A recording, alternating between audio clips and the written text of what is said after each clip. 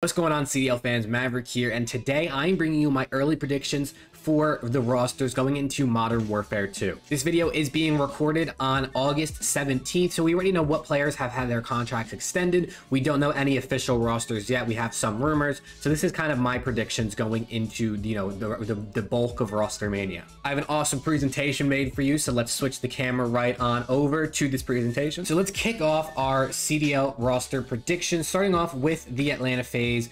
Obviously, this team is going to stay the same. They've been the best team in the game for basically the last two years, one of the top two teams in the game for the last three years and have been super consistent. I don't expect to see them make any changes. Um, it wouldn't really make any sense. I think their roster is just about perfect. They just unfortunately couldn't find any success this past season. Then we have the Boston Breach. I have a feeling this team will stay relatively similar. Big difference is bringing in Cammy to play that flex role instead of TJ Halley, who we know is a free agent. Nero and Vivid as the aggressive SMG duo. They extended Methodz with the game launch extension, meaning they have two weeks after the launch of Modern Warfare 2 to decide if they want to keep him. I have a feeling they will. He was was really, really good last year, and he was a staple to this team. And I think they want to keep him to pair him alongside a really good flex like Cammy, who is now a restricted free agent from the Toronto Ultra. Moving on into the Florida Mutineers, this is a team that I think is interesting. Not sure how realistic it is. It was kind of made up of a mix of players I couldn't fit into other teams.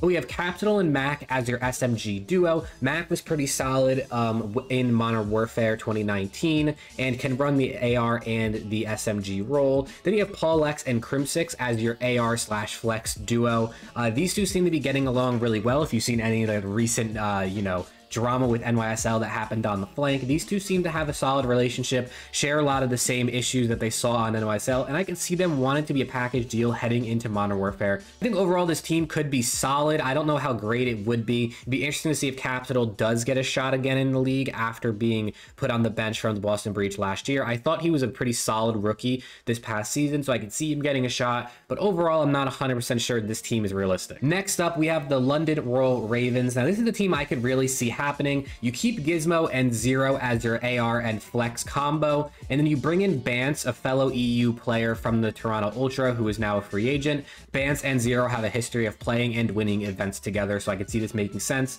And then you bring in Wardy as that other SMG player to pair alongside Bance from the amateur scene in the EU of Challengers. He's been a top player in EU Challengers for a long time now, and I could see him getting his shot on this team. Then we move into the LA Guerrillas. This team looking relatively similar. They kept everyone on their roster except for Gunless so far based on the contract extensions. I could see them trying to upgrade. You know, if there's an available upgrade, I would see them taking that option. And we know that LAG is a pretty uh, wealthy organization. So I could see them throwing the bag at some players. And I could see Attach wanting to come over here and team up with some of these veterans and make a strong veteran roster. You bring in Attach to replace Spart on this team, I think gives you a much stronger flex player. And I could see them having a pretty strong roster based on how they performed at Major 2, trying to improve that heading into Modern Warfare 2. For the LA Thieves, not much to say. Of course, they went back-to-back -back majors, Major 4 and Champs, so they're going to be staying the same heading into Modern Warfare 2. Then for the new Las Vegas Legion, no longer the Paris Legion, this is the Las Vegas Legion.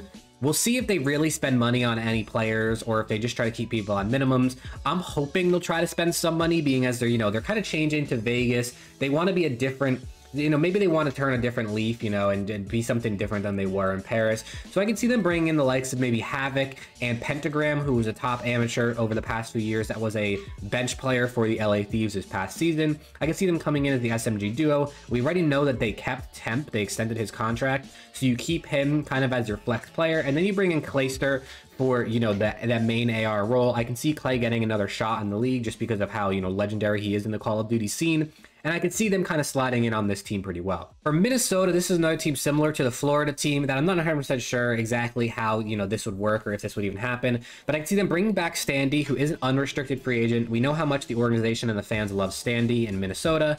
Then you bring in Awakening as your second SMG because he can run SMG or AR pretty well, so he has the ability to flex if needed. Then you have Gunless come in as your full flex role to play in the AR, second AR slot, who's pretty, pretty solid in that area. And then you bring in Lucky from Challenger. We know that the Rokkr, similar to the Ultra, were pretty big in the Challenger scene this year. And I could see them bringing in Lucky as a main AR to kind of be, you know, a, a new rookie in the scene for this team. And moving into the subliners, we already kind of know two to three players on this roster. We know they extended, or it looks like they're extending, or trying to extend Hydra on a big deal, as well as Kismet, and we know they want to bring in Skyz to pair alongside Hydra.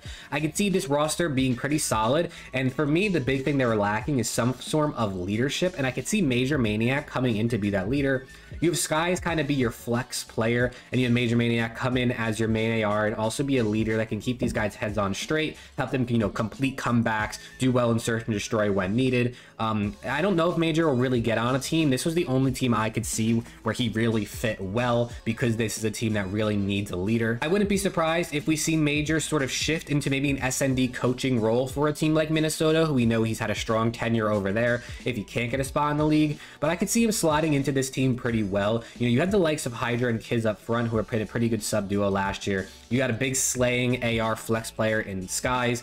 And then you have MajorManiak to be that leader and also help them out in Search and Destroy. Optic Texas, not much to say about them. They're likely going to stay the same. Technically, Illy and Shotzzy are free agents because their uh, Dallas Empire deals are up, but I see them just getting extensions and this team sticking. I mean, they're fan favorites. I'm sure they all love being on the Optic organization, you know, being a part of, you know, Optic slash Envy now. I know they're technically just totally Optic, but, you know, I they, they're, they've been loved by this organization for a long time, and I definitely see them sticking. And for probably my favorite roster on the list, we have the Seattle Surge. Um, it would be interesting to see if they do make a change because of kind of how they performed at COD Champs.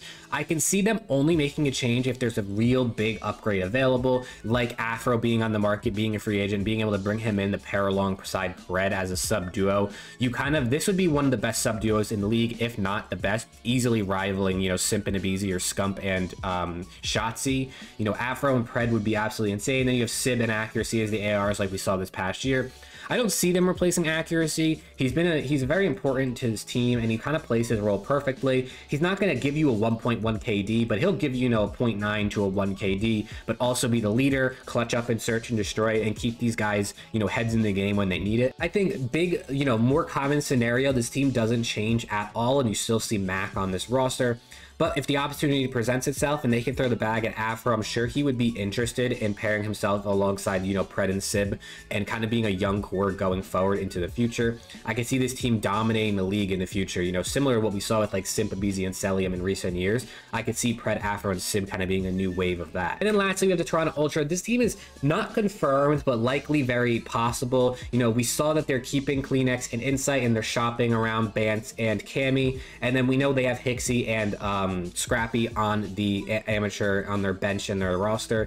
So I'm sure they want to bring those guys in who both looked good when they played on the pro level in a couple series in the CDL and were great amateur, you know, challengers players this entire year. I'm sure, I'm definitely sure Scrappy's going to get a shot on this team. Not 100% sure about Hicksy, but I could definitely see it happen. Now to talk about some notable free agents. Biggest name really on this list for me is Priestahh. I didn't really know where to slot him in. He kind of had a down year, down couple of years where he wasn't great. Same thing with TJ Halley. It'd be interesting interesting to see if either of those can get a shot as a flex on any of these teams. You know, there's other people that were rookies last year, like Jimbo, Gravity, Prolute, Nastie, Too Real, um, that I'm not sure are going to get teams. I could see maybe Nastie getting a team or maybe Gravity. It'll be interesting to see if they end up getting any shots on any of these teams. But overall, they weren't really outstanding players. And I also can see them not having a lot of the personal connections around the league as they were rookies to kind of slot themselves in. I can see the likes of Nastie staying as a substitute player on the bench for the London Royal Ravens, or maybe even starting on that team and Wardy coming in as a substitute on the bench. You never really know kind of what's going to happen with bench players and who's going to be signed. I think we'll see bench players be a more um, prominent signing this year in roster mania and not necessarily as much of a secondary or an afterthought for these teams. I think we realized how important bench players are.